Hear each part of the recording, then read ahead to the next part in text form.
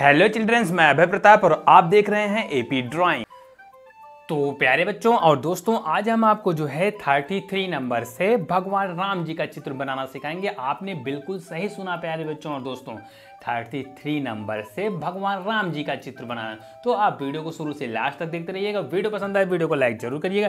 देखिए, आपको कैसे कैसे लिखना है, पहले इसको ध्यान से देखिएगा। यहाँ पे आपको ऐसे एक थ्री लिखना होगा। एक थ्री यहाँ पे ऐसे लिख दीजिए। हो सके तो आप मेरे साथ ही बनाते रहिएगा। अगर आप मेरे साथ बनाते हैं तो आपको जो है बहुत ही बहुत ही आसान हो जाएगा। यहाँ पे ऐसे थ्री लिखिए। थ्री लिखने के बाद आपको करना क्या है? यहाँ पे ऐसे उल्टा थ्री लिखना होगा। बहुत ही आसान तरीका। फ़र्स्ट स्टेप में आप थ्री लिखिएगा सेकेंड स्टेप में आप उल्टा थ्री लिखिएगा। उल्टा थ्री लिखने के बाद इसको हमें ऐसे मिला देना होगा। मिलाने के बाद दोस्तों, यहाँ पैसे ऊपर की तरफ़, हम यहाँ पैसे कर देंगे।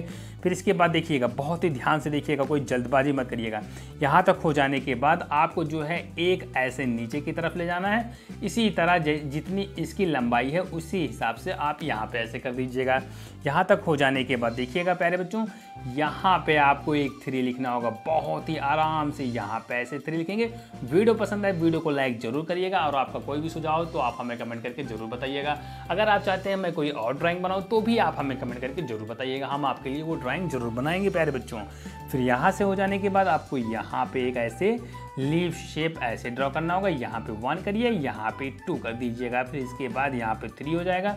इसको हम मार्कर की हेल्प से ऐसे ब्लैक कर देंगे, यहाँ पे भी कर दीजिएगा। सेम प्रोसेस हम यहाँ पे भी रिपीट कर देंगे। यहाँ तक हो गया हमारा। अब देखिएगा, यहाँ से आपको इसको थोड़ा सा आगे की तरफ़ बढ़ाना होगा। बहुत ही आराम से करिएगा।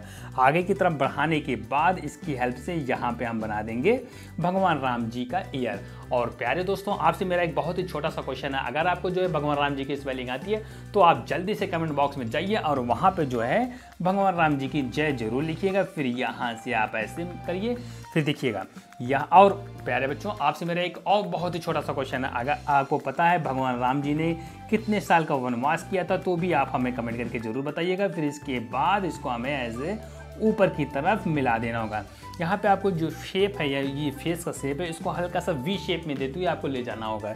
ये हो जाने के बाद यहाँ पे आई ईयर में जो है, आप ऐसे ईयरिंग पहना दीजिए।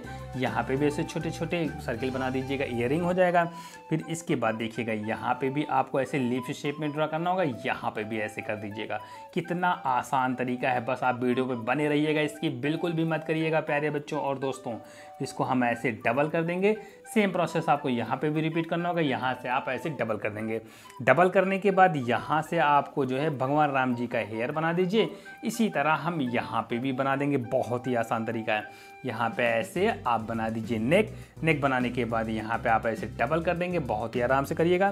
फिर इसके बाद इसको थोड़ा सा आगे की तरफ़ ऐसे बढ़ाएँगे। यहाँ पे शोल्डर बढ़ा देंगे।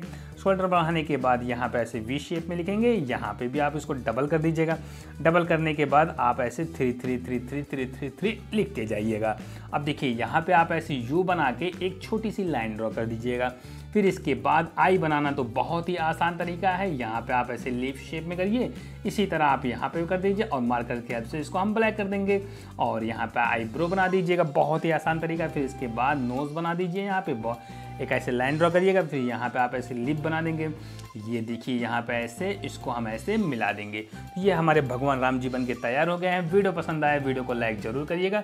तो चलिए हम भगवान राम जी को कलर भी कर देते हैं। यहाँ पे ऐसे थोड़ा सा हम इसको यहाँ पे ऐसे मिला देंगे। तो चलिए अब हम कलर करना शुरू करते हैं।